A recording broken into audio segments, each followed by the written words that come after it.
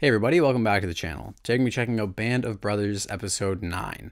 I imagine we're getting some pretty darker stuff because as this is um, Easy Company's final stretch and they are moving into Germany, the center of German operations, I do imagine we're going to get into some uh, Holocaust type stuff, perhaps some liberations of concentration camps and that sort of thing. So I am bracing myself for that. I am going to have a bit more of a serious tone for this because you know it's not really appropriate to be going, "Oh, Dan, that's crazy! I can't believe this." When when the subject matter might be a bit more um, sensitive, of course. And also, as uh, I am a person of the LGBT community, this is going to be a bit more personal for me as um, you know the people that came before me in this LGBTQ community were uh, murdered and slaughtered by the thousands by the Nazi regime. So this is a story that is close to my heart. And um, I didn't really realize that actually until quite recently because um, obviously the mass target of the uh, Nazi solution was uh, Jewish people. And um, rightfully so, that is uh, the prominent story of the Holocaust. But um, it's often forgotten that there are also the uh, Romani people, for example, that were also persecuted by the Nazis. And also, I, I was doing some research and I never really processed that fact that um, if I was around back in uh, the era of the Nazi uh, rule, then I would likely have been killed in a concentration camp. That is so insane to think about. But um, really i had never even thought about that until just recently. I was doing some research on the yellow triangle and how that um, has become a symbol for uh, gay and queer empowerment nowadays. So I think that's really interesting. So I've just been really thinking about that a lot as we get closer to that sort of subject matter that I assume will be covered in the show, unless they're just going to talk about more armed conflict or personal stories. That's fine with me, but just something worth noting. Another personal story here. I don't know if I mentioned in the last video, and if I did, I'll probably edit this out. But my grandmother told me that she was actually a survivor of the Cardiff Blitz bombing raids in Cardiff, Wales, and that uh, her neighborhood and towns would just get destroyed by bombs, and she would have to walk to school or the store the next day. So I had never heard that before, but that is really rather interesting. Also, I did not know that uh, there is a third series being produced by Hanks and Spielberg called Masters of the Air, based on the book of the same title, which I think I'm going to read now that I'm going through this sort of World War II phase. So that's very exciting, and uh, I can't wait to get into this and experience uh, the final uh, climax of Band of Brothers and experience the end of this journey. And uh, it's been really great to go on this guys with you as we got to the closer end. I just want to say it really means a lot to me how much you guys have stuck with me through this channel. And we had a lot of ups and downs, a lot of technical difficulties, which the patrons will know about.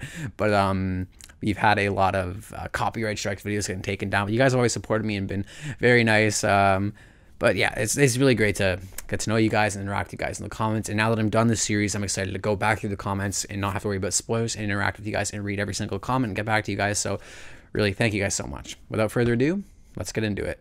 The only good Kraut is a dead one. Well, but there was something in there that, you know, hey, that was a kid. Most of them were kids. We all were kids. Yep. We thought that the Germans were probably the evilest people in the world. As the war went along, we found out also that it wasn't the Germans per se. I've thought about this often. That man and I might have been good friends. We might we might have had a lot in common. You never know, you know. Of course, they were doing what they were supposed to do, and I was trying to do what I was supposed to do. Under different circumstances, we might have been good friends. I believe I said those exact words in episode three. I said, um, it's such a shame that the war has taken these two guys apart, that prisoner of war and also um, Malarkey. When they had that conversation, I said, um, I really think that it's such a shame that this is just some kid who him and Malarkey clearly would have been friends had the circumstances been different because after all a lot of the Germans were not the evil Nazi that we have in our heads. Um, and by no means am I excusing Nazi ideologies not at all. But I'm saying the German ground forces who were conscripted to fight for the army a lot of them did not even care for political ideals. A lot of them didn't have any political ideals. They were just there because they had to be. So, um, you know, a few people in the comments got really upset with me that I was defending that prisoner of war. But I mean, these guys are veterans. They were actually there. And the very first lines of this episode is saying that a lot of them were just kids. And I mean, that's just kind of the point I was trying to make, and I guess some people in the comments weren't too happy that I said that, but I, I stand by it. I think um, and that was part of the one of the issues I had with Saving Private Ryan. That I one of the few cons I had is that I felt um, and also I'm not talking during the show by the way, just the opening titles rolling. So if uh, you guys are watching, so why is he talking so much during the show?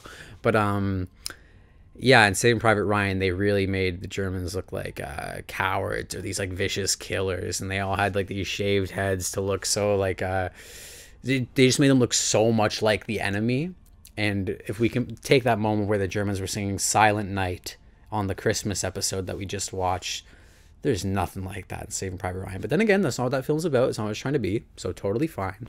But that scene of the Germans singing Silent Night was a beautiful way to humanize them without going over the top with it, without trying to make us sympathize with them or anything. It was a great way to just connect them with a human moment without using any sort of other tactics, without breaking the scene or going to their perspective. It was phenomenal. That was a perfect scene, and I'm glad they're touching on this again I think it's important that we know these things.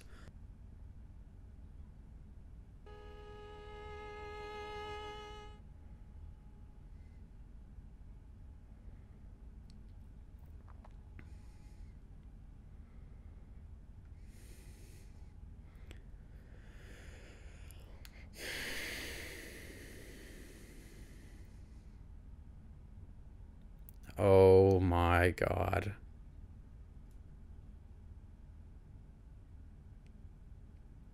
Greatest use of a fade I've ever seen in my life. Holy, that might be one of the most effective opening scenes I've ever seen. That was incredible. A single shot moving on a crane up to a second level on a filmmaking level and an emotional level, that was flawless.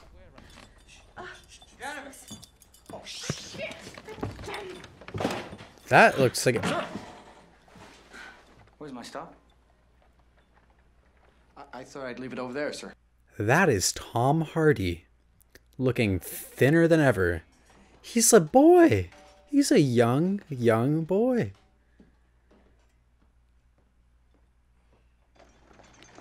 Wow. That was. What a cameo. Must be nice for these men to have an actual bed. Someone who's never fired his weapon in combat, huh? Wow. Really? You've never? Nope. Not even with all the action we've seen? Not around. By all means, keep pressing him about it. How'd it go this morning? It's great. What is rubbing this guy the wrong way? The rest of the boys? Oh, they blew up over Germany somewhere. And I guess that would be it. Man. You know, the real tragedy is they also lost their CEO, so. Guess who gets to write all the letters home? Oh, man. Tough gig for this guy. Sink is transferring you back down to Battalion S3. You've been demoted. Yeah, demoted, got you. This guy's just so done with it. Our sons died as heroes. You really still believe that? Yeah. You know, I think any contribution, of how big or small, I mean, an army is a million little smaller functioning cogs in one larger machine. So I think no matter how big or small your contribution is, you're still worthy of accolade and hero status.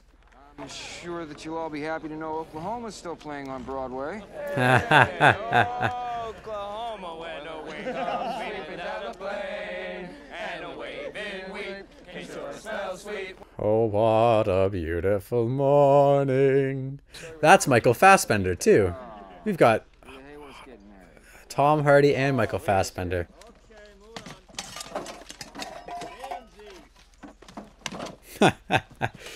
oh, this replacement, what a guy. Relax, would you? I'm trying to read. Patrick O'Keefe, my friends call me Patty.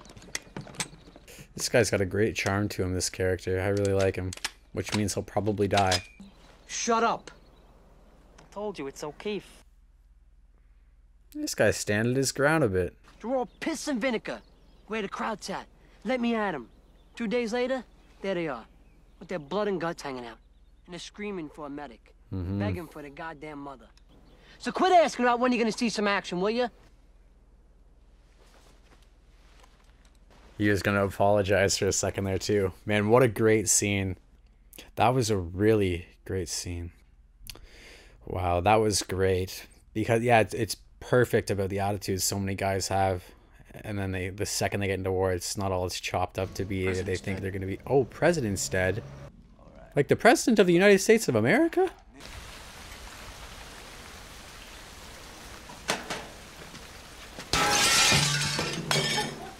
What the heck is this guy doing?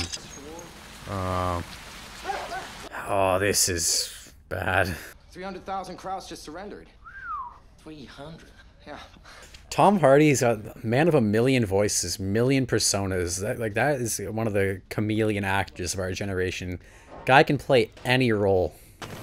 Katz is divorcing me. What? Oh, God. this poor guy, man. I, I feel so terrible for him. Taking the house, taking the kid, she's taking the dog. It's my dog! She's taking my dog! Oh man. Let's go! Run it up! Come on! Dude, I feel terrible for this guy. He's clearly struggling with some alcoholism problems right now. He's got family troubles at home. And he's at the end of his rope with the war. And then we got Sergeant Randleman kicking ass yet again. Look at that landscape. There's that combat medic. I really love him. He's also unbelievably stunning looking. This might be a perfect show. It really might be a perfect show. Like every line just crafts a perfect picture of a character. Then I'm gonna find me a nice Jewish girl. Great big soft titties. Marry her. Then I'm gonna buy a house. For all the little Liebgotts we're gonna be making. All the little Liebgotts. Literature. Get out of here. Great serious? field. Dick Tracy, Flash Gordon mostly. Nice. This is a great little moment.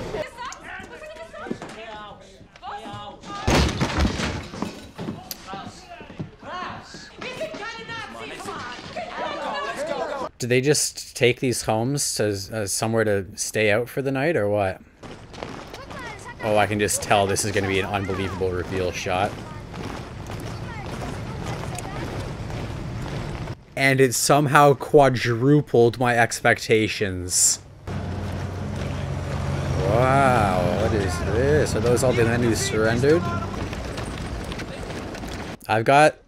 I, I can humanize the ground soldiers and the men, but those upper guys with those uniforms, there's just something so haunting about those men.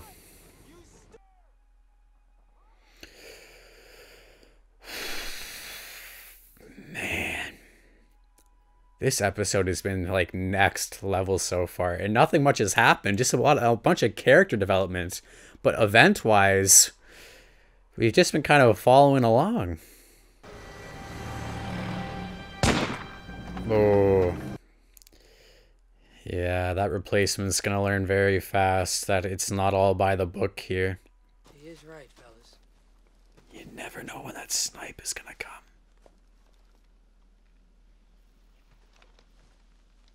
Randleman, be safe.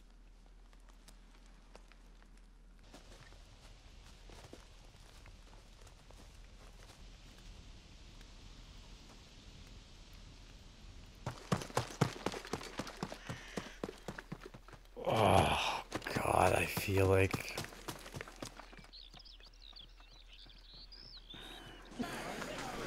My heart is pounding, man. Frank, what is it? I don't know, sir. My heart is beating out of my chest right now. This is so well done because we know what's coming, but. Oh my god.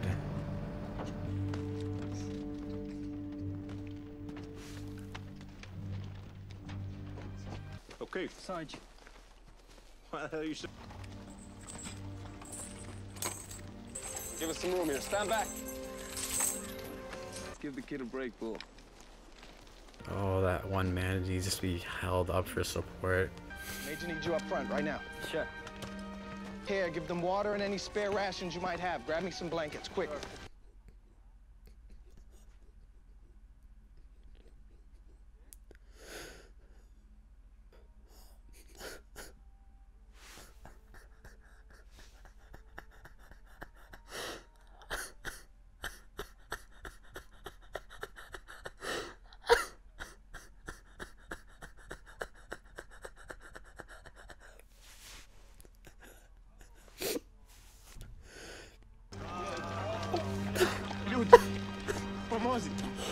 りました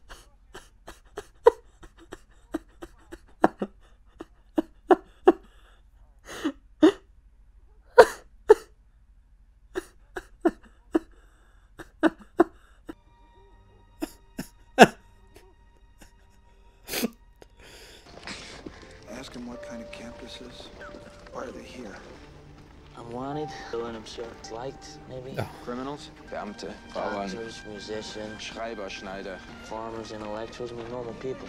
Juden. Juden. Ganz Some of them were killed. getötet. Jews. Die, die, die, die, die Wachen hatten nicht genügend. They didn't have enough.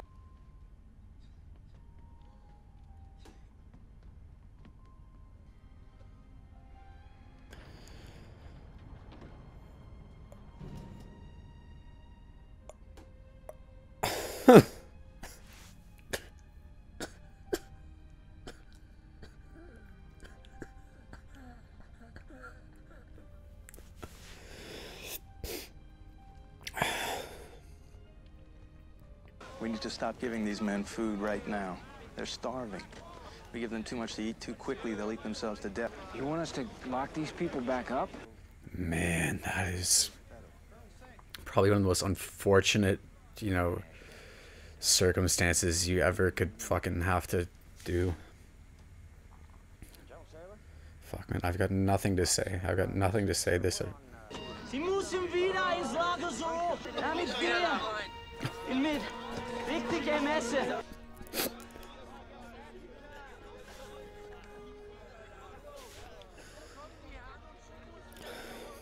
Oh, I can only imagine how fucking uh, hard that would be for him. Because I mean, just earlier he was talking about he wants to find himself, you know, a, a Jewish wife and a, a family and th- all that. So only to see that must be, uh,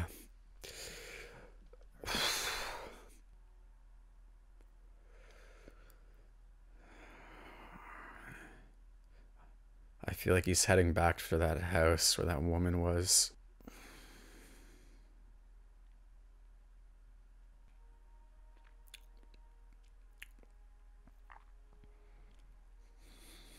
Hitler's dead.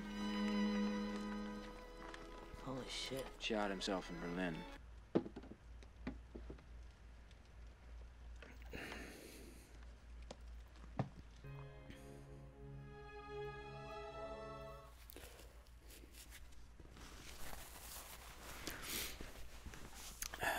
Made the uh, right choice not to go with the usual, uh, the usual uh, theme song that they go with for the end credits.